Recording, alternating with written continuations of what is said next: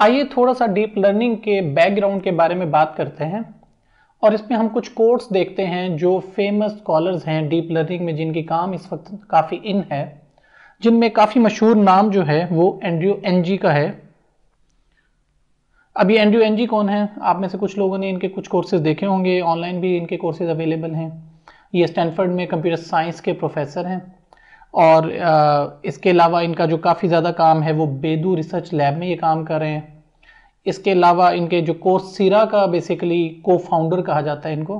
कोर्सीरा एक हमारी famous website है जहाँ पर डिफरेंट कोर्सेज अवेलेबल होते हैं जो स्टूडेंट्स लेते हैं और फिर डिफरेंट डिग्रीज करते हैं। अच्छा जब एंड्रू एन की हम बात करते हैं तो इनका बहुत ही ज़्यादा बैकग्राउंड है इन मशीन लर्निंग और फिर मशीन लर्निंग को यूज़ करते हुए डिफरेंट एप्लीकेशंस को बनाने में। और फिर ये पायनियर गिने जाते हैं इन डीप लर्निंग कोर्सेज ऑल्सो अब इनका मैंने यहाँ पे क्यों ज़िक्र किया? इसके अलावा भी हमारे पास काफ़ी सारी कोर्स थी, लेकिन सिर्फ़ हमने यहाँ पर एक छोटी सी कोर्ट ली है एन की। और क्यों किया? रीज़न इसकी ये थी कि इनका जो एक्सपीरियंस है, ये डबल है। एक्सपीरियंस इन अ सेंस क्या है? कि जैसे मैंने अभी बताया कि स्टैनफर्ड में as a professor of computer science similarly ये जो बेदू रिसर्च लैब है, वहाँ पे इन्होंने एक प्रोजेक्ट शुरू किया था जिसका नाम है गूगल ब्रेन अब ये गूगल ब्रेन ब्रेन जो है बेसिकली ये ऐसा प्रोजेक्ट था, जिसकी वजह से काफ़ी ज़्यादा काम हुआ in the area of deep learning अब जब हम बार बार डीप लर्निंग के एरिया की बात करते हैं तो जो मेजर फोकस रहा, या डीप लर्निंग के हिट होने का, या पॉपुलर होने का फ़ेमस होने की, जो असर रीज़न थी, वो ये थी कि डीप लर्निंग को यूज़ करते हुए मशीन लर्निंग की बहुत ही ज़्यादा रियल टाइम एप्लीकेशंस डेवलप हुई और मार्केट में नज़र आना शुरू हुई। कुछ एप्लीकेशंस के मैं पहले नाम ले चुका हूँ और कुछ एप्लीकेशन हम अभी देखेंगे भी सही कि वो क्या एप्लीकेशन है और वो कैसे डिफरेंट हैं फ्रॉम कॉमन एप्लीकेशंस अच्छा अब कुछ इनकी कोर्स की बात कर लेते हैं। जैसे अगेन हमने अभी बात की, हमारे पास जो एन डी एन जी हैं, उनके कोर्ट की बात करते हैं। 2013 में उनकी एक टॉक थी, जिसका टाइटल था deep learning self taught learning and unsupervised feature learning इस टॉक पे उन्होंने बताया बेसिकली क्या था? कि उन्होंने ये कहा था कि जब हम डीप लर्निंग के फ्रेमवर्क को यूज़ करेंगे, या 2013 के अंदर जो अब काफ़ी टाइम हो चुका है, क्या डिफरेंट हुआ था? उन्होंने कहा था कि अब हमारे पास ब्रेन सिमुलेशंस को यूज़ करते हुए, यानी कि इससे मुराद ये है कि जैसे ह्यूमन ब्रेन वर्क करता है, उसको मिमिक करते हुए, उसे कॉपी करते हुए, हम क्या क्या कर सकते हैं? We can do learning algorithms with better ease and with better speed इससे मुराद क्या है कि जो हमारे पास एल्गोरिदम थे मशीन लर्निंग के, उनको यूजिंग ह्यूमन ब्रेन मिमिक्री यानी कि ह्यूमन ब्रेन को कॉपी करते हुए हम ज़्यादा आसानी से और ज़्यादा तेज़ी से कर पाएँगे। Make revolutionary advances in machine learning and a अब ये रेवोल्यूशनरी एडवांसेज क्या हैं मशीन लर्निंग में और AI में? इसमें जो ज़्यादा फोकस ये है कि मशीन लर्निंग का जैसे हमने शुरू में डिस्कस कर चुके हैं मशीन लर्निंग के तीन बेसिक फेजेज होते हैं। एक है हमारे पास डाटा प्री प्रोसेसिंग एक फीचर इंजीनियरिंग और एक फिर क्लासिफिकेशन जो डीप लर्निंग का बेसिक फ़र्क आया था वो ये आया था कि इसमें हमारे पास फीचर इंजीनियरिंग वाला फ़ेज़ जो है वो ऑटोमेट हो गया था। इससे मुराद क्या है कि हमारे पास फीचर्स एक्सट्रैक्ट नहीं करने पड़ते सिस्टम ऑटोमेटिकली लर्न करता है कि कौन से फीचर्स हमने किस एप्लीकेशन में यूज़फुल हैं और उनको यूज़ करना है। और अगेन क्योंकि हमें फीचर्स से जान छूट गई, हमारे पास रिज़ल्ट ज़्यादा बेहतर आने शुरू हुए तो उन्होंने सिंपल कंक्लूड ये किया कि this is our best shot at progress towards real AI अब रियल एआई क्या है? एआई है आर्टिफिशियल इंटेलिजेंस रियल एआई क्या है? कि जितना ज़्यादा आर्टिफिशियल इंटेलिजेंस ह्यूमन इंटेलिजेंस के करीब होगी, उतना ज़्यादा सिस्टम बेहतर होंगे और हमें सक्सेस मिलेगी। अब डीप लर्निंग में हमारे पास होता क्या है? हम पहले भी ज़िक्र कर चुके हैं बेसिकली दो चीज़ों पे हमारा फोकस है। वो दो चीज़ें क्या हैं, वो थोड़ा सा हम अभी देख लेते हैं। एक है हमारे पास फास्ट कंप्यूटर्स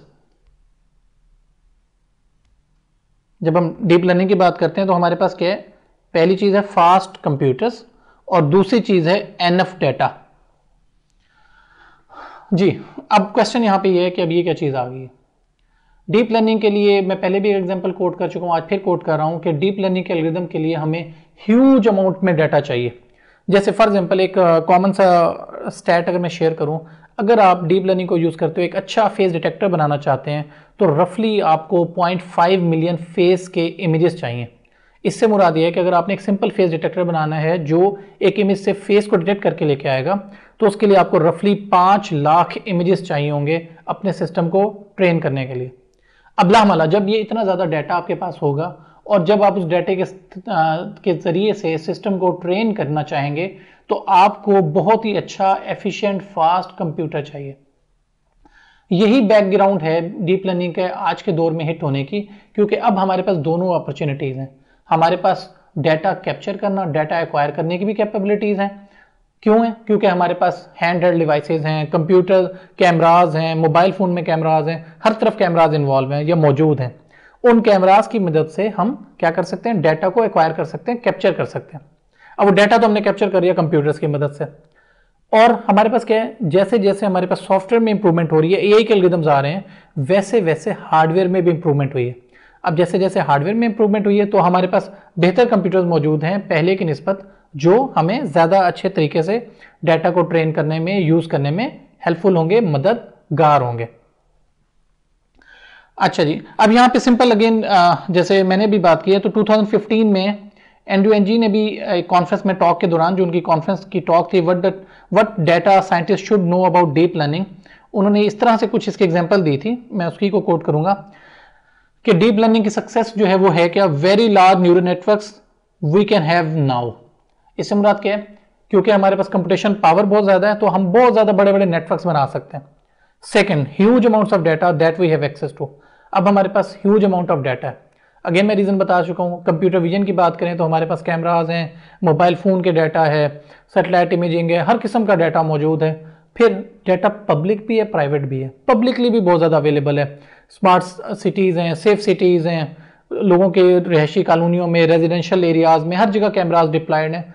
इसी तरह घरों के अंदर प्राइवेट सेटअप भी हैं पब्लिक सेटअप भी हैं तो huge amount of data is available तो इसको अगर हम कंक्लूड करें तो कैसे होगा? That as we construct large neural networks and train them without with more and more data their performance continues to increase this is generally different to other machine learning techniques that reach a plateau in performance अब यहाँ पे एक word आया है, अभी इसको हम देखते हैं ये क्या है।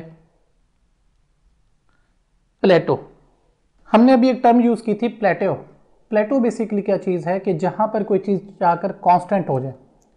अब यहाँ पे जो हम बात कर रहे थे अभी, वो इस तरह से थी कि जो हमारे मशीन लर्निंग के एल्गोरिदम्स हैं, वो with the passage of data जैसे जैसे डाटा बढ़ता है एक जगह जाके उनकी एक्यूरेसी उनकी क्लासिफिकेशन रिजल्ट्स उनकी एवोल्यूशन के रिज़ल्ट वो कांस्टेंट हो जाते हैं, उससे आगे इंक्रीज नहीं करते। On the other hand deep learning के जो एल्गोरिदम्स हैं या डीप लर्निंग के जो रिजल्ट्स हैं, वो जैसे जैसे डाटा इंक्रीज होता है, वो कॉन्स्टेंटली इंक्रीज होते रहते हैं हती कि वो 100 परसेंट या बेस्ट रिज़ल्ट की तरफ़ ना चले जाएँ। इसी चीज़ को यहाँ पर एक फिगर की मदद से भी दिखाने की कोशिश की गई है, वो कैसे? कि हमारे पास ये अमाउंट ऑफ़ डाटा है। अमाउंट ऑफ़ डाटा से मुराद हम लेट से एक प्रॉब्लम ले लेते हैं। हम कहते हैं कि हमने एक एल्गोरिदम लिखना है जो हमें फेसेस को डिटेक्ट करके देगा गिवन इमेज में से। तो अब क्या लेट से हमारे पास शुरू में पाँच इमेजेस थे, फिर दस हुए, पंद्रह हुए, बीस हुए, पचास हुए, सौ हुए, हज़ार हुए वन हंड्रेड थाउज़ेंड हुए, फिर वन मिलियन हुए एंड सॉन तो मशीन लर्निंग के एल्गोरिदम्स क्या होंगे कि एक वक्त आएगा, वहाँ जाकर वो कांस्टेंट हो जाएगा, उनका रिज़ल्ट इंप्रूव नहीं करेगा। जबकि डीप लर्निंग का क्या होगा? कि जैसे जैसे डाटा बढ़ेगा, उसका रिज़ल्ट इंप्रूव करता जाएगा, जो ये ब्लू लाइन से शो किया गया। जबकि रेड लाइन जो है, ये मशीन लर्निंग की है। और इसमें क्या होगा कि इस जगह जाकर, ये जो जगह है, यहाँ पे ये रिज़ल्ट कांस्टेंट हो गए इसके बाद इनमें इम्प्रूवमेंट नहीं है। तो डीप लर्निंग के एल्गोरिथम्स की क्या खासियत है कि वो जैसे जैसे डाटा बढ़ता है, उनके रिजल्ट्स भी इंप्रूव होते जाते हैं as compare to machine learning जहाँ पर रिजल्ट्स कांस्टेंट हो जाते हैं।